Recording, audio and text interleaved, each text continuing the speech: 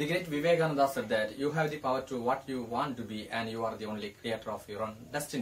നിങ്ങൾ എന്താണോ ആകാൻ ആഗ്രഹിക്കുന്നത് അതിനുള്ള കഴിവ് ശക്തി ഇതെല്ലാം നിങ്ങളുടെ ഉള്ളിലുണ്ട്. അത് നിങ്ങൾ കണ്ടെത്തി വളർത്തിയെടുത്ത് നിങ്ങൾ നിങ്ങളുടെ ലക്ഷ്യത്തിലേക്ക് എത്തുക. നിങ്ങൾ എന്താണോ ആകാൻ ആഗ്രഹിക്കുന്നത് അതിനുള്ള കഴിവ് ശക്തി ഇതെല്ലാം നിങ്ങളുണ്ട്. അതുകൊണ്ട് നിങ്ങളുടെ വിധികർത്താവ് നിങ്ങൾ തന്നെയായിരിക്കും. നിങ്ങളുടെ കഴിവിനെ നിങ്ങൾ കണ്ടെത്തുക ആ പൊട്ടൻഷ്യൽ ആയിട്ടുള്ള പവർ നിങ്ങൾ കണ്ടെത്തുക. കണ്ടെത്തി നിങ്ങൾ അതിനെ വളർത്തിയെടുത്ത് നിങ്ങളുടെ ലക്ഷ്യത്തിലേക്ക് നിങ്ങൾ ഇപ്പൊ നിങ്ങളുടെ മനസ്സിലുള്ള നിങ്ങളുടെ നിങ്ങളിലുള്ള ആ കഴിവിനെ നിങ്ങൾ തിരിച്ചറിയാൻ കഴിഞ്ഞിരുന്നു. ഇനി നിങ്ങളുടെ സ്വപ്നമായ നിങ്ങൾ സാ- കേരളത്തിലെ സാധാരണക്കാരുടെ സാധാരണക്കാരുടെ സ്വപ്നം ഒരു ഗവൺമെന്റ് ജോബ് എന്ന ലക്ഷ്യത്തിലേക്ക് നിങ്ങളോടൊപ്പം ഞങ്ങളും. Dear friends you are welcome to make a history with Historia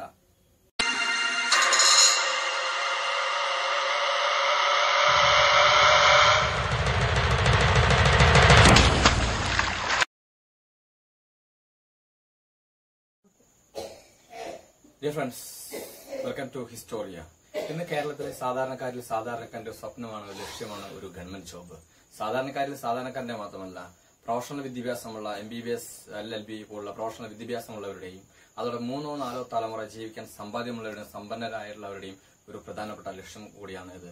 ഒരു ഗവൺമെന്റ് ജോബ്. അപ്പൊ എന്താണ് ഒരു ഗവൺമെന്റ് ജോബിന്റെ ഇത്രയും വലിയൊരു പ്രാധാന്യം? ഇത്രയും ഈ സാധാരണക്കാരിൽ സാധാരണക്കാരനും പ്രൊഫഷണൽ വിദ്യാഭ്യാസമുള്ളവരും മൂന്നോ നാലോ തലമുറ ജീവിക്കാൻ സമ്പാദ്യമുള്ളവരും ഒരു ഗവൺമെന്റ് ജോബ് ഇഷ്ടപ്പെടാൻ അല്ലെങ്കിൽ അതൊരു ലക്ഷ്യമായി സ്വപ്നമായി കാണാനുള്ള പ്രധാനപ്പെട്ട മോട്ടീവ് എന്താണെന്ന് നമുക്ക് നോക്കാം. എന്തായിരിക്കും ഒരു ഗവൺമെന്റ് ജോബിന്റെ ഏറ്റവും പ്രധാനപ്പെട്ട സവിശേഷത?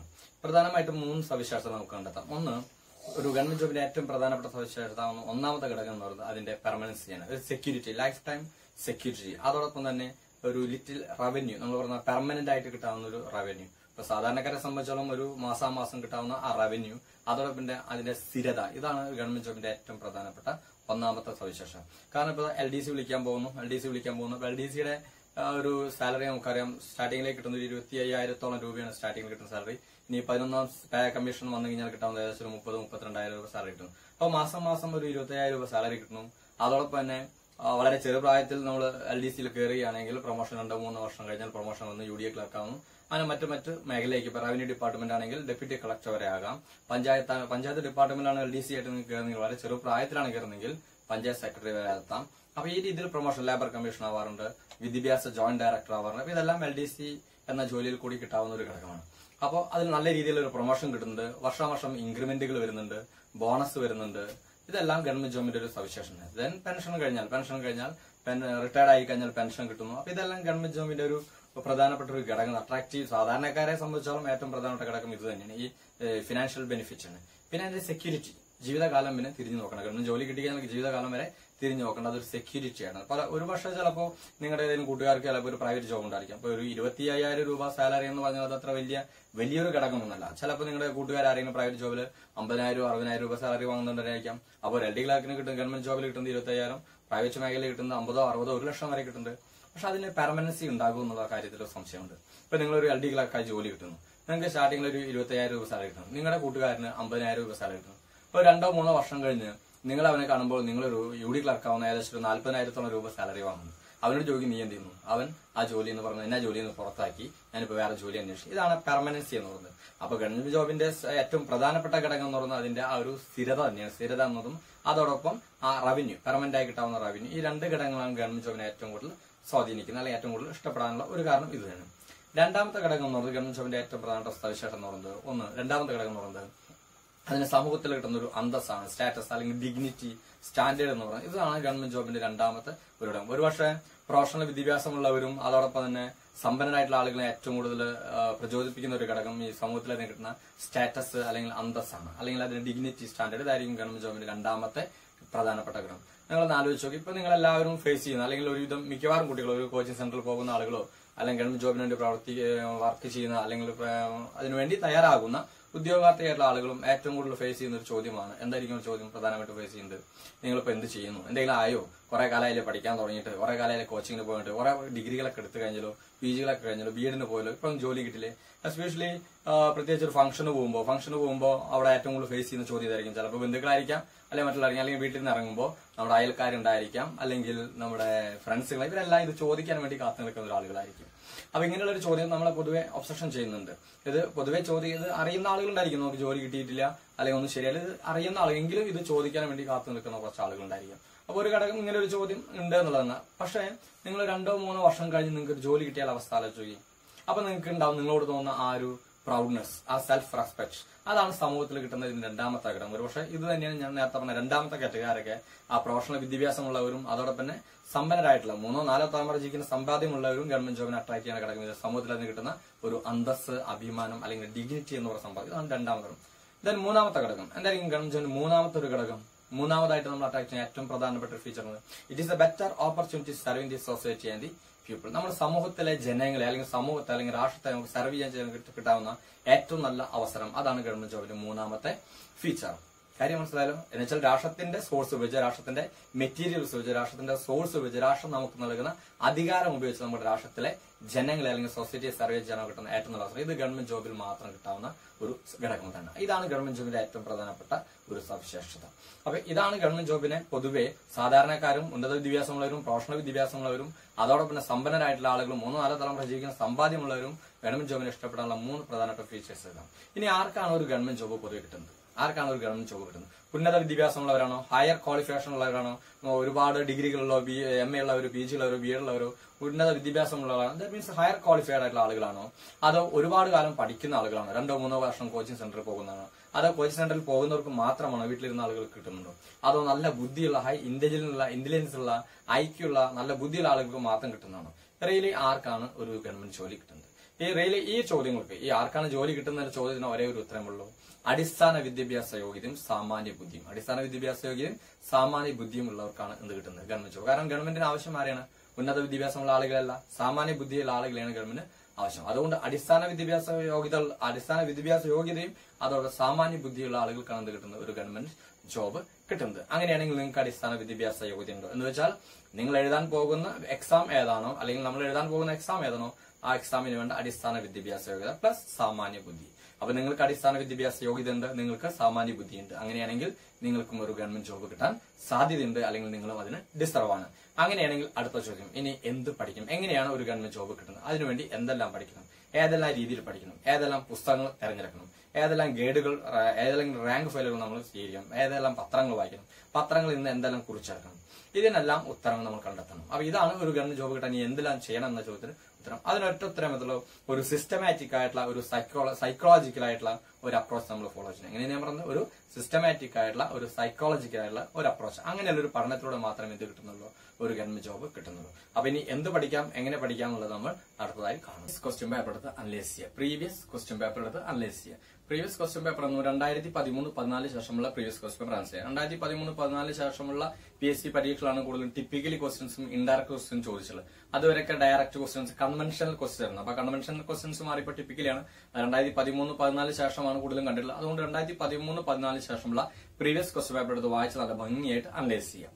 ഇനി ഏതെല്ലാം ക്വസ്റ്റ്യൻ പേപ്പർ എന്ന് ചോദിച്ചാൽ നിങ്ങൾ എഴുതാൻ പോകുന്ന എക്സാം ഏതാണോ ആ എക്സാമിന്റെ ക്വാളിഫിക്കേഷൻ നടന്ന എല്ലാ എക്സാമുകളും ഫോർ എക്സാമ്പിൾ ഡി സി വരുന്നത് പത്താം ക്ലാസ് ആണ് ക്വാളിഫിക്കേഷൻ പത്താം ക്ലാസ് നിലവാരത്തിൽ നടന്ന എല്ലാ എക്സാമുകളുടെയും പ്രീവിയസ് ക്വസ്റ്റ്യൻ പേപ്പർ അനലൈസ് ചെയ്ത് മനസ്സിലാക്കുക. എന്ന് വെച്ചാൽ ഏതെല്ലാം രീതിയിലുള്ള ചോദ്യങ്ങളാണ് ചോദിച്ചത് ഏത് സബ്ജക്റ്റിൽ നിന്നാണ് കൂടുതൽ ചോദ്യങ്ങൾ ചോദിച്ചത് എങ്ങനെയുള്ള ചോദ്യങ്ങളാണ് ചോദിക്കുന്നത് അത് ഒരു ഇൻഡയറക്ട് ക്വസ്റ്റ്യൻ ആണോ ടിപ്പിക്കലി ക്വസ്റ്റ്യൻസ് ആണോ സ്റ്റേറ്റ്മെന്റ് ക്വസ്റ്റ്യൻ ആണോ ഒറ്റ വാക്കിൽ പറഞ്ഞ ചോദ്യങ്ങളുടെ ഫ്രെയിം വർക്ക് ആ ഫ്രെയിം വർക്ക് നമുക്ക് അറിയാൻ വേണ്ടിയാണ് പ്രീവിയസ് ക്വസ്റ്റ്യൻ എടുത്ത് അനലൈസ് ചെയ്യുന്നത്. ഒരു എക്സാമ്പിൾ പറഞ്ഞു തരാം അപ്പോൾ ഒരു കാലഘട്ടത്തിൽ പി എസ് സിയിൽ ഏറ്റവും കൂടുതൽ ചോദിച്ചിരുന്ന ഭാഗമാണ് നമ്മുടെ ആസ്ട്രോണമി എന്ന സബ്ജക്ട് ആസ്ട്രോണമി ഒരുപാട് ചോദിച്ചിരുന്ന ഏറ്റവും വലിയ ഗ്രഹം അത് വലയങ്ങളുള്ള ഗ്രഹം അത് ചെറിയ ഗ്രഹം അത് സാന്ദ്രതയുള്ളത് ഇങ്ങനെയുള്ള ചോദ്യങ്ങൾ ഈ ഏരിയ ഇപ്പോൾ ചോദിക്കുന്നില്ല. പകരം ചോദിക്കുന്നത് സയൻസ് ആൻഡ് ടെക്നോളജിയാണ് നാഷണൽ പാർക്കിൽ ഒരുപാട് ചോദിച്ചു ഇപ്പൊ നാഷണൽ പാർക്കിൽ ചോദിക്കില്ല പകരം നാഷണൽ പാർക്കിൽ ചോദിക്കുന്നു. പക്ഷെ ചോദിക്കുന്ന ആംഗിൾ എൻവയോൺമെന്റൽ സയൻസ് ആണ്. ഫോർ എക്സാമ്പിൾ ഇന്ത്യയിലെ ഏറ്റവും വലിയ നാഷണൽ പാർക്ക് ഏതാണ്? ഹെമിസ് നാഷണൽ പാർക്ക് ഇപ്പൊ ചോദിക്കുന്നത് Hemis national park in Jammu Kashmir is popular for which animal ഏത് എനിമൽ സ്നോ ലെപ്പേഡ് അപ്പൊ ഈ രീതിയിലുള്ള ചോദ്യങ്ങളാണ് ചോദിക്കുക അപ്പൊ ഇങ്ങനെയുള്ള ഇൻഡയറക്റ്റ് കൺവെൻസ് ക്വസ്റ്റൻ അല്ലാത്ത ടിപ്പിക്കലി ക്വസ്റ്റൻസ് ആണ് ഇൻഡയറക്ട് ക്വസ്റ്റൻ ചോദിക്കുക അപ്പൊ അതറിയാൻ വേണ്ടിയാണ് ആ ഫ്രെയിം വർക്ക് അറിയാൻ വേണ്ടി ഏങ്കിളുകൾ അറിയാൻ വേണ്ടി ചോദ്യങ്ങൾ ടോണുകൾ അറിയാൻ വേണ്ടിയാണ് നമ്മൾ എന്ത് പ്രീവിയസ് ക്വസ്റ്റൻ നല്ല ഭംഗിയായിട്ട് എടുത്ത് വായിച്ച് മനസ്സിലാക്കണം എന്ന് പറയുന്നത്. അപ്പൊ ഒന്ന് നിങ്ങൾ ചെയ്യേണ്ട പ്രീവിയസ് ക്വസ്റ്റൻ എടുത്ത് വായിച്ച് മനസ്സിലാക്കാം രണ്ടാമത് ചെയ്യേണ്ട കാര്യം വെച്ചാൽ കമ്പൈൻ സ്റ്റഡിക്ക് ഒരുപാട് ഇമ്പോർട്ടൻസ് കൊടുക്കുക. കമ്പൈൻ നിങ്ങൾ കോച്ചിങ് സെന്ററിൽ പോകുന്ന ആളുകളാണെങ്കിൽ അങ്ങനെ അതല്ലെങ്കിൽ വീട്ടിൽ നിന്ന് പഠിക്കുന്ന ആളുകളാണ് റിലേറ്റീവ്സ് ആരോഗ്യ ചേച്ചി ചേട്ടനോ മറ്റുള്ള റിലേറ്റീവ്സ് ഉണ്ടെങ്കിൽ അങ്ങനെ അങ്ങനെ ഫ്രണ്ട്സുകൾ അല്ലെങ്കിൽ വായനശാലകൾ ടോട്ടലി കമ്പൈൻ സ്റ്റഡി എന്ന സംഭവം. അത് കമ്പൈൻ സ്റ്റഡി എന്ന് പറഞ്ഞ രീതിയിൽ പറഞ്ഞ ഒരു മൈൻഡ് സെറ്റിംഗ് എന്നാണ് പറയുന്നതെങ്കിൽ പോലും അത് നല്ലൊരു വാക്ക് നമുക്ക് ഒരു കോച്ചിങ് സെന്ററിൽ പോകുന്ന ആളുകളായിട്ടോ അല്ലെങ്കിൽ പി എസ് സി പഠിക്കുന്ന ആളുകളായിട്ടോ രീതിയിൽ നമ്മൾ പറഞ്ഞു അതിനെ കമ്പൈൻ സ്റ്റഡി എന്ന് റിയലി ഇത് മൈൻഡ് സെറ്റിംഗ് ആണ്. ഒരു ട്രാക്ക് ഫോം ചെയ്യുക എന്നുള്ള ട്രാക്ക് രൂപീകരിക്കുക രീതിയാണ് ഞാൻ പറഞ്ഞത്. എന്നുവെച്ചാൽ കമ്പൈൻ സ്റ്റഡി മിക്കവാറും കേരളത്തിലെ എല്ലാ സെന്ററുകളും കേരളത്തിലെ എല്ലാ കോച്ച് സെന്ററിൽ ഏറ്റവും കൂടുതൽ ഇമ്പോർട്ടന്റ് കൊടുക്കുന്നതാണ് കമ്പൽസറി കമ്പൽസറിക്ക് വേണ്ടി ഒരുപാട് റൂമുകളും ക്ലാസ്സുകളൊക്കെ വിട്ടു കൊടുക്കണം അവിടെ കാലത്ത് മുതൽ വൈകുന്നേരം വരെ കമ്പൽസറിയാണ് അപ്പൊ കമ്പൽസറി പ്രത്യേകത. പൊതുവെ എല്ലാവരും കാണുന്ന പോലെ തന്നെ കമ്പൽസറി പ്രധാനപ്പെട്ട പ്രത്യേകത പറയാം. എല്ലാവരും പരസ്പരം ചേർന്നിരുന്ന് പഠിക്കുമ്പോൾ ഉണ്ടാകാം മെമ്മറിക്ക് കുറച്ച് റെജുനേഷൻ കിട്ടുന്നു. പറഞ്ഞ കാര്യങ്ങൾ മനസ്സിൽ നിൽക്കുന്നു. പഠിച്ച കാര്യങ്ങൾ മനസ്സിൽ നിൽക്കുന്നു. അങ്ങനെ പറയാറുണ്ട്. അതോടൊപ്പം പിന്നെ ഷെയറിംഗ് ഓഫ് നോളജ് പറയാറുണ്ട്. പല കാര്യങ്ങളും പരസ്പരം പറഞ്ഞു പഠിക്കും ഞാൻ എനിക്കറിയാത്ത മറ്റുള്ള പറഞ്ഞിരുന്നു. മറ്റാൾക്കറിയാതെ പരസ്പരം പറഞ്ഞു പഠിക്കുമ്പോൾ ഒരുപാട് അറിവുകൾ ഷെയറിംഗ് ഓഫ് നോളജ് ഇതൊന്നും കിട്ടുന്നു. പിന്നെ മറ്റൊരു ഘടകം എന്ന് വെച്ചാൽ ഒറ്റയ്ക്ക് ഇരുന്ന് പഠിക്കുമ്പോഴൊന്ന് അലസത ഉറക്കം വരൽ ഏകാഗ്രത ഇല്ലാമ ഇതെല്ലാം പൊതുവെ കമ്പൽസറിയുടെ റിസൾട്ടാണ് കമ്പൽസറിയുടെ പ്രധാനപ്പെട്ട റിസൾട്ട് ഇതൊക്കെയാണ്. ഒറ്റയ്ക്ക് ഇരുന്ന് പഠിക്കുമ്പോൾ നമുക്ക് വീട്ടിൽ ചിലപ്പോൾ ഒറ്റയ്ക്ക് ഇരുന്ന് പഠിക്കുമ്പോൾ അലസത വരും ഉറക്കം വരും ഏകാഗ്രത ഇല്ലാമ ഇതെല്ലാം കമ്പൽസറിയിൽ നിന്ന് മാറി കിട്ടുന്നതാണ് ഒരു പ്രധാനം. പക്ഷെ ഇതിനെല്ലാം പുറമെ രണ്ട് പ്രധാനപ്പെട്ട കാര്യങ്ങൾ കമ്പൽസറി ഇതെല്ലാം കമ്പസ്റ്റ് റിസൾട്ട് ആണെങ്കിൽ പോലും പൊതുവെ ഞാൻ നിങ്ങളോട് ഫോക്കസ് ചെയ്ത് പറയുന്ന രണ്ട് കാര്യങ്ങൾ. ഒന്ന് കോമ്പറ്റീഷൻ മൈൻഡ് പഠിക്കാനുള്ള ഒരു കോമ്പറ്റീഷൻ സ്പിരിറ്റ് ആ ത്രില്ല് അത് നമുക്ക് കമ്പസ്റ്റഡിയിൽ നിന്ന് കിട്ടാണ് ഇപ്പൊ ഒരു നാലോ അഞ്ചോ ആളുകൾ ഇരുന്ന് പഠിക്കുന്നു. നാലോ അഞ്ചോ ആളുകൾ ഇരുന്ന് പഠിക്കുമ്പോൾ അതിൽ മൂന്ന് മൂന്നാലാളുകളും പഠിച്ചു കഴിഞ്ഞാൽ എക്സാം എഴുതുന്നു. മൂന്നാളുകൾക്ക് കൂടുതൽ മാർക്ക് കിട്ടുന്ന ആൾക്ക് മാർക്ക് കുറയുന്നു. അപ്പൊ ആ കുട്ടിക്ക് ഒരു പോസിറ്റീവ് ആറ്റിറ്റ്യൂഡ് ഉള്ള കുട്ടിയാണെങ്കിൽ ആ കുട്ടി തീർച്ചയായിട്ടും എന്തായിരിക്കും അടുത്ത എക്സാമിൽ ഞാൻ ഇതിനേക്കാൾ കൂടുതൽ മാർക്ക് വാങ്ങും. അപ്പൊ അങ്ങനെയുള്ള ഒരു ഒരു കോമ്പറ്റീഷൻ മൈൻഡ് ആ കോമ്പറ്റീഷൻ മൈൻഡ് ഉണ്ടെങ്കിൽ മാത്രമേ നമുക്ക് ഇങ്ങനെയുള്ള കോമ്പറ്റീഷൻ എക്സാമിനേഷൻ എഴുതി പാസ്സാകും. കാരണം കാരണം ഇതൊരു വളരെ ടൈറ്റ് ആയിട്ടുള്ള ഒരു കോമ്പറ്റീഷൻ ആണ്. ഒരു മാരത്തോൺ ഓട്ടാണ് എല്ലാവരും ഒരുമിച്ച് നിർത്തുന്നു വെടിപിടിക്കുന്നു എല്ലാവരും ഒരുമിച്ച് ഓടുന്നു ഏറ്റവും മുന്നിലെത്തുന്നവർ ജയിക്കുന്നു. അപ്പൊ ഈ കോമ്പറ്റീഷൻ സ്പിരിറ്റ് കിട്ടുക എന്നുള്ളത് ഒരു പ്രധാനപ്പെട്ട ഘടകം എവിടെ നിന്നാണ് നമ്മളത് കമ്പൽസറിയിൽ നിന്നാണ്. രണ്ടാമത്തെ പഠിക്കാനുള്ള ഒരു മോട്ടിവേഷൻ ഒരു self motivation you must be a self motivated person ഒരു സെൽഫ് മോട്ടിവേറ്റഡ് പേഴ്സൺ ആകണം. കാരണം നിങ്ങൾ എന്നും എല്ലാവരും എപ്പോഴും എന്ത് ചെയ്യില്ല മോട്ടിവേറ്റ് ചെയ്യില്ല. ഇപ്പൊ ഫോർ എക്സാമ്പിൾ നിങ്ങളുടെ വീട്ടുകാർ ഒരു പരിധി വിട്ട് അവരും പറയും മതി ഇനി പോയി വീട്ടിൽ ഇരുന്നോളാം പറയും. അല്ലെ ഫ്രണ്ട്സുകൾ അതല്ലെങ്കിൽ ചുറ്റുപാടുള്ള അയൽക്കാര് മറ്റുള്ള ബന്ധുക്കൾ ഇവരൊന്നും ഒരു പരിധി എന്തിന്? നിങ്ങളുടെ ഫാക്കൽറ്റീസ് പോലും ഒരു പരിധി വിട്ട് ക്ലാസ്സിലൊന്നും പിന്നെ മോട്ടിവേഷൻ നിൽക്കില്ല അപ്പൊ ഒരു പരിധി വിട്ടാൽ നിങ്ങൾ ആരും മോട്ടിവേറ്റ് ചെയ്യില്ല. അപ്പൊ നിങ്ങൾ സെൽഫ് മോട്ടിവേറ്റഡ് ആകുന്നുള്ള ഒരു പ്രധാനപ്പെട്ട ഘടകമാണ്. അപ്പൊ ഈ ഞാൻ ഞാൻ പറഞ്ഞ രണ്ട് കാര്യങ്ങൾ ഒന്ന് ഈ പറഞ്ഞ സെൽഫ് മോട്ടിവേഷൻ അത് നമുക്ക് കമ്പൽസറി ചെയ്യുന്നു രണ്ടാമത് ഞാൻ ഈ പറഞ്ഞ ഏതാണ്? പഠിക്കാനുള്ള ഒരു കോമ്പറ്റീഷൻ ആ ത്രില്ല് സ്പിരിറ്റ് ഇത് നമുക്ക് എവിടെ നിന്ന് കിട്ടും? ഈ കമ്പൽസറിയിൽ നിന്ന് കിട്ടും. ഫോർ എക്സാമ്പിൾ നിങ്ങൾ നോക്കിയോ നിങ്ങൾ ഒരു നാലഞ്ച് ആളുകൾ ഇന്ന് ക്ലാസ്സുകൾ പോകുന്നു അല്ലെങ്കിൽ നിങ്ങൾ പഠിക്കാൻ തീരുമാനമെടുക്കുന്നു. തീരുമാനമെടുത്ത് നിങ്ങൾ വീട്ടിലെത്തുന്നു. വീട്ടിലെത്തിയാൽ ചിലപ്പോൾ പഠിക്കാൻ പറ്റില്ല നമ്മുടെ മൂഡ് ശരിയാവില്ല അല്ലെങ്കിൽ അൺഫോർച്ചുനേറ്റ്ലി എന്തെങ്കിലും ബാഡ് തിങ്സുകളോ ബാഡ് ന്യൂസുകളോ കേൾക്കുന്നു. പഠിക്കാൻ താല്പര്യമില്ല അല്ലെങ്കിൽ പഠിക്കാനുള്ള മൂഡ് പോയി. നമ്മൾ തൊട്ടടുത്ത കൂട്ടുകാരെ എല്ലാം വിളിക്കുന്നു. കൂട്ടുകാരെല്ലാം വിളിക്കുമ്പോൾ അവരെല്ലാം അവരെ പഠിക്കുക പഠിച്ചുകൊണ്ടേയിരിക്കുന്നു. ഇത് കേട്ടാൽ നമുക്ക് തീർച്ചയായിട്ടും പഠിക്കാൻ തോന്നും. അപ്പൊ ഇങ്ങനെയുള്ള ഒരു സെൽഫ് മോട്ടിവേഷൻ കിട്ടാൻ വേണ്ടിയാണ് ഞാൻ പറഞ്ഞത് രണ്ടാമത് പറഞ്ഞ കമ്പൽസറി. അപ്പൊ കമ്പൽസറി ഇത്രയും പ്രധാനപ്പെട്ട ഘടകങ്ങളുണ്ട്. അതുകൊണ്ട് നിങ്ങൾ കമ്പൽസറിക്ക് മാക്സിമം ഉപയോഗിക്കുക. ഇനി നിങ്ങൾ കോച്ചിങ് സെന്ററിൽ പോകാതെ വീട്ടിലിരിക്കുന്ന ആളുകളാണെങ്കിൽ കമ്പൽസറിക്ക് പകരം ചെയ്യാവുന്ന ഒന്ന് ഞാൻ പറഞ്ഞ മൈൻഡ് സെറ്റിംഗ് എന്നുള്ള ഘടകമാണ്. അതിന് നിങ്ങൾ ചെയ്യാവുന്നത് പഠനവുമായി ബന്ധപ്പെട്ട ആളുകളുമായി പഠനവുമായി ബന്ധപ്പെട്ട ഫ്രണ്ട്സുകളോ റിലേറ്റീവ്സോ അല്ലെങ്കിൽ ഫാക്കൽറ്റീസുകളോ നല്ല നല്ല ഫാക്കൽറ്റീസ് അവരുമായി ബന്ധപ്പെട്ട് എപ്പോഴും പഠനവുമായി ബന്ധപ്പെട്ട കാര്യങ്ങൾ സംസാരിക്കുക. പഠനവുമായി ബന്ധപ്പെട്ട കാര്യങ്ങൾ സംസാരിച്ച് നമ്മുടെ മൈൻഡിനെ എപ്പോഴും ആ ട്രാക്കിലേക്ക് കൊണ്ടുവിടുക. കാരണം കുറച്ച് പഠിച്ച ഒന്നോ രണ്ടോ ആഴ്ചകൾ കഴിഞ്ഞ് ആ പഠനത്തിൽ ബ്രേക്ക് വന്നാൽ പലരും പറയും പഠിക്കാനുള്ള ടച്ച് പോയി പഠിക്കാനുള്ള ടച്ച് പോയി. അപ്പൊ ആ ടച്ച് എന്ന സംഭവമാണ് ഞാൻ ഈ പറഞ്ഞത് പഠിക്കാനുള്ള ട്രാക്ക് ക്രിയേറ്റ് നമ്മുടെ മൈൻഡിനെ എപ്പോഴും ആ ട്രാക്കിലേക്ക് കൊണ്ടുവരുന്നത്. അപ്പൊ അതിന് കോച്ചിങ് സെന്ററിൽ പോകാത്ത ആളുകളാണ് നിങ്ങൾ വീട്ടിൽ നിന്ന് പഠിക്കുന്ന ആളുകളാണെങ്കിൽ പരസ്പരം പഠനവുമായി ബന്ധപ്പെട്ട നല്ല പഠിക്കാൻ താല്പര്യമുള്ള കൂട്ടുകാരുമായി അവരുമായി പരസ്പരം വിളിക്കുക പഠനവുമായി ബന്ധപ്പെട്ട കാര്യങ്ങൾ മാത്രം സംസാരിക്കുക. മറ്റു കാര്യങ്ങളൊക്കെ സംസാരിക്കരുത്. കാരണം നമ്മൾ പഠനവുമായി ബന്ധപ്പെട്ട കാര്യങ്ങൾക്ക് വേണ്ടി ഒരാളെ വിളിച്ച് വീട്ടിലെ വിശേഷങ്ങളോ മറ്റു കാര്യങ്ങളോ സംസാരിച്ചാൽ അതുവരെ ഉണ്ടായിരുന്ന നമ്മുടെ താല്പര്യവും അതുകൊണ്ട് പഠനവുമായി ബന്ധപ്പെട്ട കാര്യങ്ങൾ മാത്രം സംസാരിച്ച് നമ്മുടെ മൈൻഡിനെ എപ്പോഴും ട്രാക്കിൽ കൊണ്ടുവരിക. ഇതാണ് നിങ്ങൾക്ക് കമ്പൽസറി ഫോളോ ചെയ്യാൻ പറ്റാത്ത ആളുകൾ. എന്ന് വെച്ചാൽ നിങ്ങൾ കോച്ചിങ് സെന്ററിൽ പോകാതെ വീട്ടിൽ മാത്രം ഇന്ന് പഠിക്കുക പഠിക്കുന്ന ആളുകളാണെങ്കിൽ നിങ്ങളെ മൈൻഡിനെ മൈൻഡ് സെറ്റ് ചെയ്യാൻ വേണ്ടി മൈൻഡ് ട്രാക്ക് ഉണ്ടാക്കാൻ വേണ്ടി നിങ്ങൾ പഠനവുമായി ബന്ധപ്പെട്ട കാര്യങ്ങൾ പഠന പഠിക്കുന്ന കുട്ടികളുമായി പഠിക്കുന്ന ഫാക്കൽറ്റീസുമായി അല്ലെങ്കിൽ അങ്ങനെയുള്ള നല്ല നല്ല നിങ്ങളെ മോട്ടിവേറ്റ് ചെയ്യാൻ പറ്റാവുന്ന ആളുകളുമായി ബന്ധപ്പെട്ട് എപ്പോഴും സംസാരിക്കുക. നിങ്ങളുടെ മൈൻഡിനെ ട്രാക്കിലേക്ക് കൊണ്ട് ഇതാണ് കമ്പസ്റ്റഡി എന്ന് കൊണ്ട് ഞാൻ ഉദ്ദേശിച്ചത്.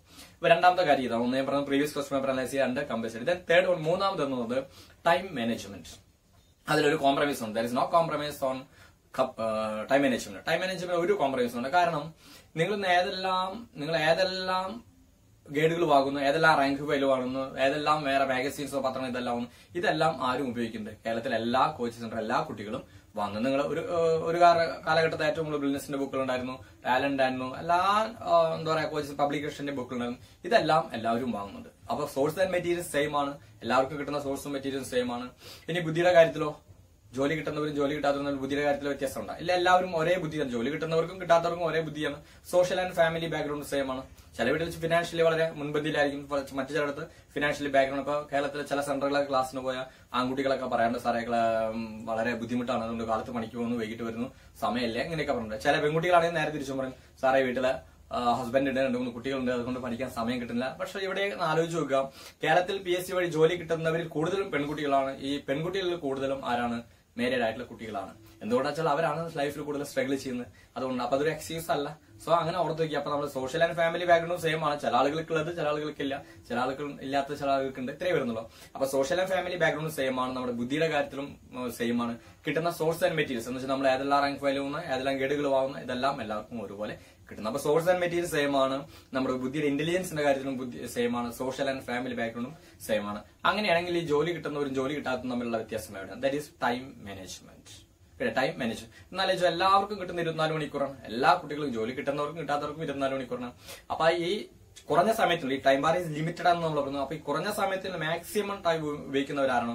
അല്ലെങ്കിൽ അതിനെ എഫക്റ്റീവ് ആയിട്ട് ഉപയോഗിക്കുന്നവരോ അവരാണ് ഏത് ചെയ്യുന്നത്? റാങ്ക്ലിസ്റ്റിന്റെ മുന്നിലേക്ക് എത്തുന്നത്. അപ്പൊ ഇവിടെ ഞാൻ പറഞ്ഞ ടൈം മാനേജ്മെന്റ് ആണ്. അപ്പൊ നിങ്ങൾ ഈ ടൈം മാനേജ്മെന്റ് കൊണ്ട് അർത്ഥമാക്കുന്നത് കാലത്ത് പഠിക്കുക ഉച്ചയ്ക്ക് പഠിക്കുക രാത്രി പഠിക്കുക അല്ലെങ്കിൽ അങ്ങനെ പഠിക്കുക എന്നല്ല.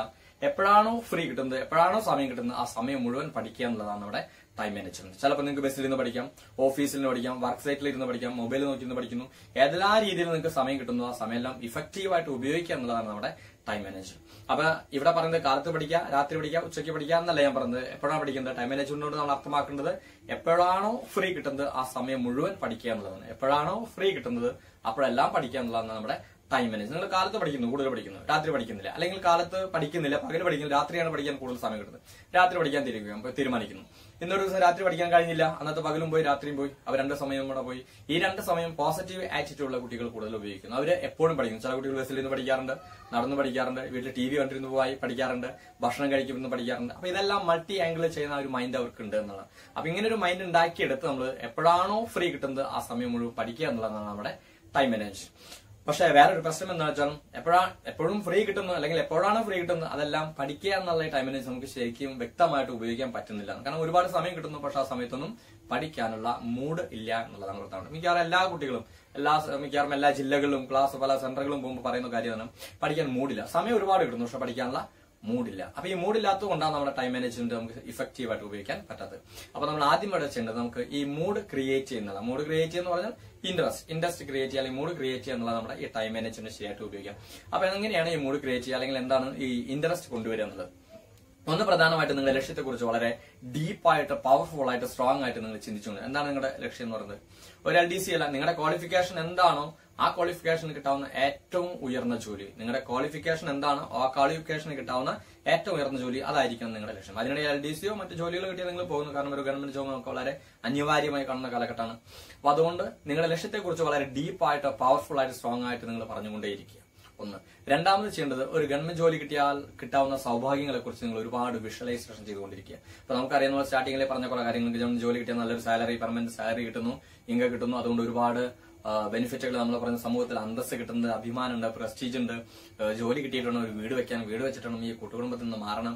അല്ലെങ്കിൽ ജോലി കിട്ടിയിട്ട് ഒരു വാഹനം വാങ്ങണം. അങ്ങനെ ഒരുപാട് അംബിഷൻ ജോലി കിട്ടിയിട്ട് പ്രപ്പോസൽ ആയിട്ട് പോകണം അല്ലെങ്കിൽ ജോലി കിട്ടിയിട്ടേ കല്യാണത്തിന് ഞാൻ സമ്മതിക്കും. ഇങ്ങനെയുള്ള ഒരുപാട് അംബിഷൻസ് ഒരുപാട് അംബിഷൻസ് നമുക്ക്. ഈ അംബിഷൻസ് എല്ലാം നമ്മളെ ഫ്രൂട്ട്ഫുൾ ആക്കുന്ന ഒരു ഘടകമാണ് നമ്മുടെ ഗവൺമെന്റ് ജോലി അപ്പൊ ജോലി കിട്ടിയാൽ കിട്ടാവുന്ന സ്വഭാവങ്ങളെ കുറിച്ചും നമ്മുടെ ലക്ഷ്യം എന്താണ് ലക്ഷ്യത്തെ ലക്ഷ്യത്തെക്കുറിച്ചും വളരെ ഡീപ്പായിട്ട് പവർഫുൾ ആയിട്ട് സ്ട്രോങ് ആയിട്ട് നമ്മൾ എപ്പോഴും മനസ്സിലേക്ക് പറഞ്ഞുകൊണ്ടേയിരിക്കുക. ഇതൊരു സജഷൻ നമുക്കറിയാം ഈ സബ് കോൺഷ്യസ് മൈൻഡിലേക്ക് നമ്മൾ ഇങ്ങനെ സജഷൻ കൊടുത്തുകൊണ്ടിരിക്കുക.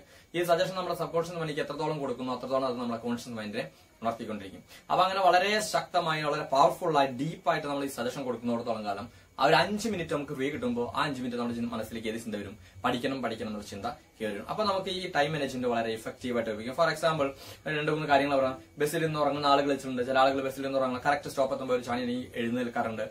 എന്നും കാലത്ത് ആറ് മണിക്കാണ് നിങ്ങൾ എനിക്കുന്നെങ്കിൽ ഇന്ന് രാത്രി നിങ്ങൾ നാളെ എനിക്ക് അഞ്ചു മണിക്ക് എനിക്ക് ഇന്ന സ്ഥലത്ത് പോകാനുണ്ട്. എന്ന് തീരുമാനിച്ചാണ് നിങ്ങൾ കിടക്കുന്നത്. നാളെ നിങ്ങൾ അഞ്ചു മണിക്കല്ല നാല് മണിക്ക് എണീറ്റിരിക്കും. സോ അപ്പൊ ഇതെല്ലാം നമ്മുടെ സബ് കോൺഷ്യസ് മൈൻഡിലേക്ക് നമ്മൾ കൊടുക്കുന്ന സജഷൻസ് ആണ്. അപ്പൊ ഈ സജഷൻ ഏത് സജഷൻ നമ്മൾ ഈ പറയുന്ന ലക്ഷ്യം എന്താ? നമ്മുടെ ഗവൺമെന്റ് ജോബ് എന്ന ലക്ഷ്യം? അല്ലെങ്കിൽ നിങ്ങളുടെ മനസ്സിൽ നിങ്ങൾ ഉദ്ദേശിച്ച ലക്ഷ്യം എന്താണോ ആ ലക്ഷ്യം? അതോടൊപ്പം ഗവൺമെന്റ് ജോലി കിട്ടിയാൽ കിട്ടാവുന്ന ആ സൗഭാഗ്യങ്ങൾ ബെനിഫിറ്റുകൾ സ്റ്റാറ്റസ് അതിനെക്കുറിച്ച് മനസ്സിലെപ്പോഴും വളരെ ഡീപ്പായിട്ട് പവർഫുൾ ആയിട്ട് റിയലി ആ വിഷ്വലൈസേഷൻ ചെയ്തുകൊണ്ടേയിരിക്കും. എപ്പോഴും ഒരു മൂന്നോ നാലോ ദിവസം അല്ലെങ്കിൽ ഒരു ദിവസം ഒരു മൂന്നോ നാലോ തവണ നിങ്ങൾ എപ്പോഴും ഇതിനെക്കുറിച്ച് പറഞ്ഞുകൊണ്ടിരിക്കുക വിഷ്വലൈസ് ചെയ്തിരിക്കുക അതോടൊപ്പം തന്നെ ഒരു ദൃഢ പ്രതിജ്ഞ എടുക്കുക. ഈ രണ്ടായിരത്തി ഇരുപത് എൽ ഡി സി രണ്ടായിരത്തി ഇരുപത്തി മൂന്ന് റാങ്ക് ലിസ്റ്റും ഈ രണ്ടായിരത്തി ഇരുപത് റാങ്ക് ലിസ്റ്റിൽ എൽ ഡി സി റാങ്ക് ലിസ്റ്റിൽ ആദ്യത്തെ അഞ്ഞൂറ് റാങ്കിനുള്ളിൽ ഞാൻ ഉൾപ്പെടുമെന്നുള്ള ദൃഢപ്രതിജ്ഞ വളരെ ശക്തമായ പവർഫുൾ അത് എപ്പോഴും മനസ്സിലേക്ക് പറഞ്ഞുകൊണ്ടിരിക്കും ഇങ്ങനെ ചെയ്തു കഴിഞ്ഞാൽ ഒരു ദിവസം ഒരു മൂന്നോ നാലോ തവണ നിങ്ങൾ ചെയ്യുക. ആ സബ് കോൺഷ്യസ് മൈൻഡിലേക്ക് നിങ്ങൾ സജഷൻ കൊടുത്തോണ്ടി. കാരണം അത് അത്രയും പറയാൻ കാരണം നമ്മുടെ മനുഷ്യന്റെ മൈൻഡിൽ സബ് കോൺഷ്യസ് മൈൻഡും കോൺഷ്യസ് മൈൻഡും പറയാം. കോൺഷ്യസ് മൈൻഡ് വെറും പത്ത് ശതമാനം മാത്രമേ പവറുള്ളൂ ബാക്കി തൊണ്ണൂറ് ശതമാനം നയന്റി പെർസെന്റ് പവർ കിടക്കുന്ന നമ്മുടെ സബ് കോൺഷ്യസ് മൈൻഡാണ് അപ്പൊ ഈ സബ്കോൺഷ്യസ് മൈൻഡിലേക്ക് നമ്മൾ എത്രത്തോളം സജഷൻ സജഷൻ കൊടുത്തുകൊണ്ടിരിക്കുന്നു ആ സജഷൻ ആയിരിക്കും നമ്മുടെ കോൺഷ്യസ് മൈൻഡിനെ കൊണ്ട് അല്ലെങ്കിൽ നമ്മളെ കൊണ്ട് ചെയ്യിപ്പിക്കുന്നത്. അപ്പൊ അതുകൊണ്ട് സബ്കോൺഷ്യസ് മൈൻഡിലേക്ക് ഈ സജഷൻ അല്ലെങ്കിൽ ദൃഢപ്രജ്ഞ ഈ വിഷ്വലൈസേഷൻ നമ്മുടെ ലക്ഷ്യത്തിനെ കുറിച്ച് എപ്പോഴും മനസ്സിലേക്ക് വളരെ വളരെ ഡീപ്പായിട്ട് പറഞ്ഞുകൊണ്ടിരിക്കുക. ശക്തമായി വളരെ സ്ട്രോങ് ആയി ഡീപ്പായിട്ട് പറഞ്ഞുകൊണ്ടിരിക്കുക. അത് പറഞ്ഞുകൊണ്ടേ ഇരുന്ന ഒരു അഞ്ച് മിനിറ്റ് ഫ്രീ കിട്ടിയാൽ നമ്മുടെ മനസ്സിലേക്ക് ചിന്ത വരും. പഠിക്കണം ജോലി കിട്ടണം പഠിക്കുന്ന ശേഷം തരും ഉടനടി നമ്മൾ എടുത്ത് പഠിക്കും. ആ കുട്ടികളാണ് ബസ്സിൽ നിന്ന് പഠിക്കുന്നവരും ക്ലാസ്സിൽ ഒരു അഞ്ച് മിനിറ്റ് ഫ്രീ കിട്ടിയായിരുന്നു പഠിക്കുന്നവരും. നമുക്കറിയാലോ നമ്മൾ പഠിക്കുന്ന കാലത്ത് നമ്മൾ സ്കൂളുകളും കോളേജുകളൊക്കെ ഒരു അഞ്ച് മിനിറ്റ് കിട്ടിയ അപ്പോൾ ഇരുന്ന് പഠിക്കും. ഒരു പത്ത് മിനിറ്റ് ഫ്രീ നമ്മൾ പുറത്ത് വരുമ്പോഴേക്കും അവരിന്ന് പഠിക്കും. നമുക്കൊരു ഹോംവർക്ക് തന്നാൽ നമ്മൾ വീട്ടിൽ പോയി മാത്രമേ ചെയ്യൂ. കാരണം നമ്മൾ സത്യസന്ധത പാലിക്കും. അവരാണെങ്കിൽ ആ ക്ലാസ്സിൽ ഇരുന്ന് ചെയ്ത് ആ സമയം ഫ്രീ ആക്കി തരും. അതെല്ലാം അവരുടെ മനസ്സിൽ ഈ പോസിറ്റീവ് ആറ്റിറ്റ്യൂഡ് വളരെ ഉള്ളത് കൊണ്ടാണ്. അപ്പൊ ആ ശക്തമായിട്ടുള്ള സജഷൻ നമ്മൾ കൊടുത്താൽ നമ്മുടെ മനസ്സിലേക്ക് തരും ഈ പോസിറ്റീവ് ആറ്റിറ്റ്യൂഡ് വരും. ഒരു അഞ്ച് മിനിറ്റ് ഫ്രീ കിട്ടിയ ആ സമയമല്ല. അഞ്ച് മിനിറ്റ് എന്നല്ല എപ്പോഴാണോ ഫ്രീ കിട്ടുന്നത് ആ സമയത്തല്ല നമ്മൾ പഠിച്ചുകൊണ്ടിരിക്കും. ഇതാണ് ടൈം മാനേജ്മെന്റ് ഇഫക്റ്റീവ് ആയിട്ട് ഉപയോഗിക്കാനുള്ള ഒരു മാർഗം. അപ്പൊ ഈ മൂന്ന് കാര്യങ്ങൾ ഓർത്ത് ഓർത്ത് വയ്ക്കുക. ഒന്ന് പ്രീവിയസ് ക്വസ്റ്റ്യൻ വളരെ ഭംഗിയായിട്ട് അനലൈസ് ചെയ്യുക. ആ ക്വസ്റ്റ്യൻസിന്റെ ടോണുകൾ മനസ്സിലാക്കുക. അതിന്റെ ആംഗിളുകൾ മനസ്സിലാക്കുക. ഏത് രീതിയിൽ ചോദിക്കുന്നു എങ്ങനെ ചോദിക്കുന്നു എന്നുള്ളത് മനസ്സിലാക്കി വയ്ക്കുക. രണ്ടാമത് പറഞ്ഞ കമ്പൈൻ സ്റ്റഡി എന്ന സംഭവം വളരെ ഭംഗിയായിട്ട് ഉപയോഗിക്കുക. കമ്പൈൻ സ്റ്റഡി ഞാൻ പറഞ്ഞു കമ്പൈൻ സ്റ്റഡി എന്ന് പറഞ്ഞാൽ റിയലി എല്ലായിടത്തും പോയി കമ്പൈൻ സ്റ്റഡി ചെയ്യുക എന്നുള്ള അർത്ഥത്തിലല്ല നമ്മുടെ മൈൻഡ് സെറ്റിംഗ് ആണ്. നമ്മുടെ മൈൻഡിനെ ആ ട്രാക്കിലേക്ക് പഠനം ജോലി എന്ന ട്രാക്കിലേക്ക് കൊണ്ടെത്തിക്കാനുള്ള ഒരു വഴിയാണ്. അപ്പൊ കമ്പൈൻ സ്റ്റഡി സാധ്യമില്ലാത്ത ആളുകൾ മറ്റു പാറകൾ ഞാൻ പറഞ്ഞ ഫോണോ ഫ്രണ്ടോ ഫോണോ പ്രോഗ്രാമുകൾ ഉപയോഗിച്ച് അങ്ങനെയുള്ള ആളുകളുമായി കമ്പൈൻ ചെയ്ത് നമ്മുടെ മൈൻഡിനെ ട്രാക്കിലേക്ക് ഉണ്ട് then third one time management ഈ മൂന്ന് കാര്യങ്ങൾ ഈ മൂന്ന് വളരെ എഫക്റ്റീവ് ആയിട്ട് ഉപയോഗിക്കുക എന്നതാണ് ഏറ്റവും പ്രധാനപ്പെട്ടത്. ഇനി മറ്റൊരു ചോദ്യം പൊതുവെ എല്ലാ സെന്ററുകളും കേരളത്തിലെ എല്ലാ ജില്ലകളും സെന്ററുകളും മിക്കവാറും ആറോ ഏഴോ സെന്ററുകൾ പോകുമ്പോൾ ജില്ലകളിൽ പോകുമ്പോൾ സെന്ററുകളെല്ലാം മിക്കവാറും ചോദിക്കുന്ന ഒരു ഘടകം എല്ലാ കുട്ടികളും ചോദിക്കുന്ന ഒരു ഘടകം അതാണ് ഏത് പുസ്തകം ഉപയോഗിക്കണം എന്നാണ്. ഏതാണ് നല്ല റാങ്ക് ഫയൽ ഇതിനൊരു ഉത്തരം പറയാനുള്ള വളരെ ബുദ്ധിമുട്ടുള്ള കാര്യം. എന്താണെന്ന് ചോദിച്ചാൽ ആദ്യകാലങ്ങളിൽ പി എസ് സിക്ക് പഠിക്കാൻ ആകെ ഒരൊറ്റ ഗേഡ് മാത്രം വി ഗേഡ് മാത്രമേ കേരളത്തിൽ പ്രധാനമായിട്ടുണ്ടായിരുന്നുള്ളൂ. അത് കഴിഞ്ഞ് കുറെ കാലങ്ങൾക്ക് ശേഷം ബ്രില്യൻസിന്റെ റാങ്ക് ഫയൽ വരാൻ പിന്നെ എല്ലാവരുടെ കയ്യിലും ബ്രില്യൻസ് വരാൻ തുടങ്ങി. അത് കഴിഞ്ഞ് കുറച്ച് കഴിഞ്ഞപ്പോൾ കോഴിക്കോട് ഡയറക്ഷന്റെ ഒരു അറിവിന്റെ പേടകം എന്ന ബുക്ക് വരാൻ തുടങ്ങി. അത് എല്ലാവരുടെ കയ്യിലും അത് കാണാൻ തുടങ്ങി. കുറച്ച് കാലം കഴിഞ്ഞപ്പോൾ എല്ലാവരും ഉപയോഗിക്കുന്ന ടാലന്റ് ആയിരുന്നു. എല്ലാവരുടെ കയ്യിലും ടാലന്റ് ആയിരുന്നു ഏറ്റവും കൂടുതൽ. ഇപ്പൊ ടാലന്റ് കഴിഞ്ഞപ്പോൾ എല്ലാവരും കയ്യിൽ ലക്ഷ്യാണ് വരുന്നത്. ലക്ഷ്യ എടാ ബുക്കാണ് കാരണം. അപ്പൊ എല്ലാ ബുക്കുകളും അതിനിടയിൽ ചില ഫാക്ട് ഫയലും മാതൃഭൂമിയുടെ ഫാക്ട് ഫയലും ഉപയോഗിച്ചു പക്ഷെ എന്റെ ഒരു അഭിപ്രായത്തിലും എല്ലാ ബുക്കുകളും ഒരുപോലെയാണ് ഓരോ ബുക്കുകളും നല്ലത് തന്നെയാണ്. ചില ബുക്കുകൾ വളരെ ഭംഗിയായി കൊടുക്കുന്നത് വായിക്കാൻ നല്ല പ്രിന്റഡ് ക്വാളിറ്റിന്റെ ആയിരിക്കും വായിക്കാൻ രസക രസകരമായിരിക്കും. അതായിരിക്കും. മറ്റു ചില ബുക്കുകളിൽ എന്താ പറയുക ഇതേപോലെ തന്നെയായിരിക്കും സംഭവങ്ങൾ. ക്വാളിറ്റി കുറവായിരിക്കും ചിലപ്പോൾ വായിക്കാൻ വിരസതയായിരിക്കും. വളരെ വലിച്ചു വാരി കൊടുക്കും. ചിലത് അടുക്കും ചിട്ടണം ഇങ്ങനെ തന്നെയാണ് പക്ഷേ ഫാക്ടുകളെല്ലാം സെയിം ആയിരിക്കും. ഒരു ബുക്കിൽ കാണും നമുക്ക് ഇന്ത്യയുടെ ആദ്യത്തെ പ്രധാനമന്ത്രി നെഹ്റു മറ്റൊരു ബുക്കിൽ കാണും നെഹ്റു ആയിരുന്നു ഇന്ത്യയുടെ ആദ്യത്തെ പ്രധാനമന്ത്രി. അല്ലെങ്കിൽ മറ്റൊരു ബുക്കിലാണ് ഇന്ത്യയിൽ ഇന്ത്യയ്ക്ക് സ്വാതന്ത്ര്യം കിട്ടുമ്പോൾ ഇന്ത്യയിലെ സംസ്ഥാനങ്ങൾ ഉണ്ടായിരുന്നില്ല. നാട്ടുരാജ്യങ്ങൾ നാട്ടുരാജ്യങ്ങളായിരുന്നു. അല്ലെങ്കിൽ ഭാഷാ പുനഃസംഘടന ആക്ട് പ്രകാരം രൂപം കൊണ്ട സംസ്ഥാനങ്ങൾ പതിനാല്. ഇത് തന്നെയാണ് മറ്റെല്ലാ ബുക്കുകളും ഉണ്ട് അപ്പൊ ബുക്കുകളെല്ലാം സംബന്ധിച്ചോളം സെയിം ആണ്. പക്ഷെ ചില ബുക്കുകൾ വളരെ ആധികാരികമായിട്ട് വളരെ വളരെ വിശദമായിട്ട് കൊടുക്കും. ചില ബുക്കുകൾ അത്രയും കൊടുക്കുന്നില്ല. അപ്പൊ നമ്മൾ റാങ്ക് ഫയലിന്റെ പിന്നാലെ അല്ല നമ്മൾ കൊടുക്കുന്നത്. കാരണം ഓരോ വർഷം കൂടുന്നവരും ഓരോ റാങ്ക് ഫയലും വളരെ വളരെ കനം കൂടിക്കൊണ്ടിരിക്കും. എന്തായിരിക്കും ഇതിന്റെ ബാക്കിലുള്ള പ്രശ്നം? ഓരോ വർഷം കൂടുമ്പോൾ റാങ്ക് ഫയൽ വലുപ്പം കൂടാനുള്ള കാരണം ഓരോ റാങ്ക് ഫയലും അല്ലെങ്കിൽ ഓരോ പബ്ലിക്കേഷൻ ചെയ്യുന്നത് ഓരോ ടോപ്പിക്കിനെ കുറിച്ചും വളരെ വളരെ വിശദമായി ആവശ്യമുള്ളതും ആവശ്യമില്ലാത്തതും വലിച്ചു വാരി കൊടുക്കണം. കാരണം ഒരു ഒരു എക്സാമിന് ഒരു പി എസ് സിയുടെ ചോദ്യം വന്നു കഴിഞ്ഞാൽ ആ ചോദ്യം ആരുടെ റാങ്ക് ഫയൽ കാണണം അവിടെ റാങ്ക് ഫയൽ ഉണ്ടാകണം. അപ്പൊ അവരടുത്ത ആഡ് കൊടുത്തതാണ്. കഴിഞ്ഞ വർഷം പി എസ് സി ചോദിച്ച എല്ലാ ചോദ്യങ്ങളും ഞങ്ങളുടെ റാങ്ക് ഫയലാണ് ഞങ്ങളുടെ റാങ്ക് ഫയൽ പഠിച്ച കുട്ടികളാണ് റാങ്ക് വാങ്ങിയത്. അപ്പൊ നമ്മൾ ഏതിന്റെ പിന്നാലും റാങ്ക് ഫയലിന്റെ പിന്നാലും അതുകൊണ്ടാണ് ഓരോ വർഷവും റാങ്ക് ഫയൽ വളരെ വളരെ കനം കൂടിക്കൊണ്ടിരിക്കുന്നത്. അപ്പൊ നിങ്ങൾ റാങ്ക് ഫൈനലിന്റെ പിന്നാലെ അല്ല നിങ്ങൾ ഓടേണ്ടത്. നിങ്ങൾ റാങ്ക് ഫൈനലിന്റെ പിന്നാലെ അല്ല ഓടേണ്ടത്. ആരും പിന്നാലെ ഓടണം? പി എസ് സിക്കാരുടെ പിന്നാലെ ഓടണം. പി എസ് സി എന്താണ് ചോദിച്ചിട്ടുള്ളത്? ഇതുവരെ എന്താണ് ചോദിച്ചിട്ടുള്ളത്? ഇപ്പോൾ എന്താണ് ചോദിച്ചുകൊണ്ട് ഇനി എന്താണ് ചോദിക്കാൻ സാധ്യത? ഇതാണ് നമ്മൾ മനസ്സിലാക്കുന്നത് അത് നമ്മൾ അതിനാണ് നമ്മൾ എന്തെന്ന് നമ്മുടെ പി എസ് സിയുടെ പരീക്ഷ നടന്ന എല്ലാ പ്രീവിയസ് ക്വസ്റ്റ്യൻ പേപ്പറും അതോടൊപ്പം ഇപ്പൊ നടന്നുകൊണ്ടിരിക്കുന്ന ഇപ്പൊ നമ്മുടെ ചുറ്റുപാട് നടന്നുകൊണ്ടിരിക്കുന്ന പി എസ് സിയുടെ എല്ലാ ക്വസ്റ്റ്യൻ പേപ്പറും അതായത് നിങ്ങൾ എഴുതുന്നത് മാത്രമല്ല എല്ലാ എക്സാമുകളുടെയും പ്രീവിയസ് ക്വസ്റ്റൻ നല്ല ഭംഗിയായിട്ട് വായിച്ച് മനസ്സിലാക്കി നിങ്ങൾക്ക് ഇതും അപ്പോൾ അവിടെ ടെക്സ്റ്റ് ബുക്ക് അല്ലെങ്കിൽ ഞാൻ ഈ പറഞ്ഞ റാങ്ക് ഫൈൽ ഏത് ഉപയോഗിക്കുന്നതിനും വല്ല അർത്ഥമില്ല എങ്കിൽ പോലും ഏറ്റവും നല്ലത് എന്ന് തോന്നുന്ന ഒന്നോ രണ്ടോ എണ്ണം മാത്രം നിങ്ങളുടെ കയ്യിൽ വയ്ക്കുക. ഒന്നോ രണ്ടോ റാങ്ക് ഫയൽ മാത്രം കയ്യിൽ വയ്ക്കുക ഒന്ന്. അപ്പൊ അതാണ് റാങ്ക് ഫയൽ അപ്പൊ ഏതാണോ നല്ലത് നോക്കിയത് ഒന്നോ രണ്ടോ എണ്ണം വാങ്ങുക. അപ്പൊ ഏതെങ്കിലും റാങ്ക് ഫയൽ ഞാൻ പറഞ്ഞ അതൊരു ആഡ് ആയിട്ട് മാറും. അപ്പൊ അതുകൊണ്ട് അങ്ങനെ വേണ്ട. ഏതെങ്കിലും നല്ലത് എന്ന് തോന്നുന്ന. നിങ്ങൾ കണ്ടന്റുകളൊക്കെ വായിച്ചു നോക്കി ഏതാണ് നല്ലത് എന്ന് തോന്നുന്നത് ഒരെണ്ണോ രണ്ടെണ്ണോ അതിലും കൂടുതൽ ഉപയോഗിക്കാതെ ഉപയോഗിക്കുക പിന്നെ റെഗുലർ ആയിട്ട് ന്യൂസ് പേപ്പർ വായിക്കുക. റെഗുലർ ആയിട്ട് ന്യൂസ് പേപ്പർ വായിക്കുക എന്നുള്ള കറണ്ട് അഫയേഴ്സ് മാത്രമല്ല ഉദ്ദേശിക്കുന്നത്. പൊതുവെ എല്ലാവരും പറഞ്ഞ കറണ്ട് അഫയേഴ്സ് ആണ്. പക്ഷേ കറണ്ട് അഫയേഴ്സ് അല്ല മാത്രം. നമുക്ക് കുറെ ന്യൂട്രൽ ക്വസ്റ്റ്യൻസ് കിട്ടാം ന്യൂട്രൽ ആ ന്യൂട്രൽ ക്വസ്റ്റ്യൻസ് എന്ന് ഉദ്ദേശിക്കുന്നത്. ചിലപ്പോൾ അത് നമുക്ക് സബ്ജക്റ്റ് ഉൾപ്പെടും. ഹിസ്റ്ററി ആണോ ജോഗ്രഫി ആണോ പൊളിറ്റിക്സ് ആണോ അല്ലെങ്കിൽ എക്കണോമിക്സ് ഇതൊന്നും പറയാൻ പറ്റില്ല. അതിന് അത് ഒരു സബ്ജക്റ്റ് ഉൾപ്പെടും ന്യൂട്രൽ ആയിട്ട് നിൽക്കാം ഈ ക്വസ്റ്റ്യൻസിന് മാർക്ക് ചെയ്യുന്നതായിരിക്കും മിക്കവാറും റാങ്ക് ഫുൾ ഏറ്റവും ടോപ്പിൽ വരിക. കാരണം ഇവിടെ നമ്മൾ സബ്ജക്റ്റിനെ സംബന്ധിച്ച് എല്ലാ സബ്ജക്റ്റും എല്ലാവരും ഒരുപോലെ പഠിക്കുന്നത് പക്ഷെ ന്യൂട്രൽ ആയിട്ട് കിട്ടുന്ന ചില ക്വസ്റ്റ്യൻസ് അത് മിക്കവാറും എല്ലാവർക്കും കിട്ടുന്നില്ല. അപ്പൊ അങ്ങനെയുള്ള എന്ന് വെച്ചാൽ ഞാൻ പറയുന്നത് ഇതാണ് മറ്റുള്ളവർക്ക് കിട്ടുന്ന ആൻസർ അല്ല നമുക്ക് വേണ്ടത്. മറ്റുള്ളവർക്ക് കിട്ടുന്ന ആൻസറും അതോടൊപ്പം അവർക്ക് കിട്ടാത്ത ആൻസറും കൂടിയാണ്. അതിനാണ് ന്യൂട്രൽ ക്വസ്റ്റ്യൻസ് പറയുന്നത് അത് കിട്ടാൻ നമുക്ക് ഒരൊറ്റ മാർഗം ന്യൂസ് പേപ്പർ റെഗുലർ ആയിട്ട് വായിക്കുക ചുറ്റുപാടും കണ്ണോടിച്ചുകൊണ്ടിരിക്കുക എന്തെല്ലാം കാണുന്നു എന്തെല്ലാം കേൾക്കുന്നു അതിൽ നിന്നൊരു ആൻസർ കണ്ടെത്തുക. എന്തെല്ലാം കാണുന്നു എന്തെല്ലാം കേൾക്കുന്നു അതിൽ നിന്ന് ആൻസർ കണ്ടെത്താനുള്ള കഴിവുണ്ടാക്കിയെടുക്കുക. അപ്പൊ റാങ്ക് ഫയൽ ഏതാണ് ഉപയോഗിക്കുക. ന്യൂസ് പേപ്പർ റെഗുലർ ആയിട്ട് വായിച്ചുകൊണ്ടിരിക്കുക. ചുറ്റുപാടും കണ്ണുപിടിക്കുക. കാണുന്നത് എന്താണോ അതിൽ നിന്ന് ആൻസർ കണ്ടെത്തുക. എന്തെല്ലാം കേൾക്കുന്നു അതിൽ നിന്ന് ആൻസർ കണ്ടെത്തുക. ഇതെന്താ ഇങ്ങനെ പറയാൻ കാരണം ചോദിച്ചാൽ ഇപ്പൊ നമ്മുടെ ഇലക്ട്രിസിറ്റി വൈദ്യുതി ഒരു തവണ പി എസ് ചോദിച്ച ചോദ്യമാണ് ഒരു ഗാർഹിക ആവശ്യത്തിന് ഉപയോഗിക്കുന്ന വൈദ്യുതി യൂണിറ്റ് എത്രയാണ്? ആൻസർ വന്നത് വന്നത് ടു തേർട്ടി വാട്ട്സ് ഇതിന് പൊതുവെ ആൻസർ കിട്ടി. അതെ അത് കഴിഞ്ഞ് രണ്ട് മൂന്ന് വർഷം കഴിഞ്ഞപ്പോൾ U P S C civil സർവീസിന് ഒരു ചോദ്യം വന്നു. ഒരു ട്രെയിൻ ഓടാൻ വേണ്ട വൈദ്യുതി യൂണിറ്റ് ആണ്. ട്രെയിൻ ഓടാൻ വൈദ്യുതി യൂണിറ്റ് ഇരുപത് മുതൽ ഇരുപത്തി ഇരുപത് മുതൽ ഇരുപത്തി അഞ്ച് കിലോ വാട്ട് വൈദ്യുതിയാണ് ഇത് അന്ന് റാങ്ക് ഫയലോ മറ്റൊരു ബുക്കുകളില്ല ബട്ട് ആരൊക്കെ എങ്ങനെയൊക്കെ കണ്ട് ചോദിച്ച് ആൻസർ കണ്ടു അപ്പൊ ഇങ്ങനെയുള്ള ചില ന്യൂട്രൽ ക്വസ്റ്റ്യൻ ഇതാണ് ഞാൻ പറഞ്ഞത്. ആ ന്യൂട്രൽ ക്വസ്റ്റ്യൻ കണ്ടെത്താൻ വേണ്ടി നമ്മൾ ന്യൂസ് പേപ്പർ റെഗുലർ ആയിട്ട് വായിക്കുക. അതോടൊപ്പം തന്നെ ആനുകാലികൾ മാഗസിൻസ് ഒരുപാട് മാഗസിൻ നല്ല നല്ല മാഗസിൻ വരുന്ന മാഗസിൻ വായിക്കുക. പിന്നെ ചുറ്റുപാടും കണ്ണോടിക്കുക ഒറ്റ വാക്കിൽ ഞാൻ പറഞ്ഞു കണ്ണും കാതും തുറന്നിരിക്കുക. എന്തെല്ലാം കാണുന്നോ അതിന് ആൻസർ കണ്ടെത്തുക. എന്തെല്ലാം കേൾക്കുന്നോ അതിന് ആൻസർ കണ്ടെത്തുക. ഇത്രയും കാര്യങ്ങൾ നിങ്ങൾ വളരെ ഇഫക്റ്റീവായിട്ട് ഇത്രയും കാര്യങ്ങളാണ് നിങ്ങൾ വളരെ ഇഫക്റ്റീവായിട്ട് ചെയ്യുന്നത് ഇത്രയും കാര്യങ്ങൾ ഇഫക്റ്റീവായിട്ട് ചെയ്ത് കഴിഞ്ഞ് നിങ്ങൾ ചെയ്യുകയാണെങ്കിൽ ഇപ്പൊ നമ്മുടെ മുന്നിൽ എൽ ഡി സി നോട്ടിഫിക്കേഷൻ രണ്ടായിരത്തി ഇരുപത് ജൂലൈ മാസങ്ങളായിട്ട് ഏകദേശം ജൂൺ ജൂലൈ ജൂലൈയിൽ എന്തായാലും മിക്കവാറും exam L D C exam വരാണ്. ഈ ആറ് ഏഴ് എട്ട് മാസത്തോളം നമുക്ക് വളരെ ഭംഗിയായിട്ട് കിട്ടുന്നത്. ഈ ആ എട്ട് മാസം നമ്മൾ വളരെ ഭംഗിയായിട്ട് ഇപ്പൊ ഇത്രയും പറഞ്ഞ കാര്യങ്ങൾ വളരെ ഞാൻ ആദ്യം പറഞ്ഞു. പ്രീവിയസ് ക്വസ്റ്റൻ അനലൈസ് ചെയ്യണം. കമ്പയർ സ്റ്റഡി വേണം. മൈൻഡ് ട്രാക്കിംഗ് മൈൻഡ് സെറ്റിംഗ് എന്ന് പറഞ്ഞു. Then time management there is no substitution for time management എന്ന് പറഞ്ഞു. ഇത്രയും കാര്യങ്ങൾ ദെൻ റാങ്ക് ഫയലുകളും ഈ ന്യൂസ് പേപ്പറും ആനുകാലികളും വായിക്കുന്ന കാര്യങ്ങൾ ഇതെല്ലാം വളരെ എഫക്റ്റീവ് ആയിട്ട് ചെയ്ത് നമ്മൾ കിട്ടുന്ന സമയത്ത് മാക്സിമം ഉപയോഗിക്കാൻ നിങ്ങൾക്ക് ഒരു സംശയം വേണ്ട. അടുത്ത വരുന്ന രണ്ടായിരത്തി ഇരുപത് എൽ ഡി സി റാങ്ക് ലിസ്റ്റിൽ നിങ്ങൾക്ക് തീർച്ചയായും ആദ്യത്തെ ഒരു അഞ്ഞൂറ് റാങ്കിനുള്ളിൽ എത്താൻ കഴിയുമെന്ന് ഉറപ്പ് തരുന്നു അപ്പൊ ഇത് നിങ്ങൾ വളരെ എഫക്റ്റീവ് ആയിട്ട് ഉപയോഗിക്കുക. എല്ലാവരും നല്ല ഭംഗിയായിട്ട് ഈ പറഞ്ഞ കാര്യങ്ങളെല്ലാം ചെയ്ത് അടുത്ത എൽ ഡി സി നല്ല ഭംഗിയായി എഴുതി ആദ്യത്തെ അഞ്ഞൂറ് റാങ്കിന്റെ സ്റ്റുഡന്റിൽ എത്താൻ ശ്രമിക്കുന്നു നിങ്ങൾക്ക് എല്ലാവർക്കും അത് എത്താൻ കഴിയുമെന്ന് വിചാരിക്കുന്നു. നിങ്ങൾക്ക് എല്ലാവർക്കും എല്ലാവിധ അനുഗ്രഹങ്ങളും. All the best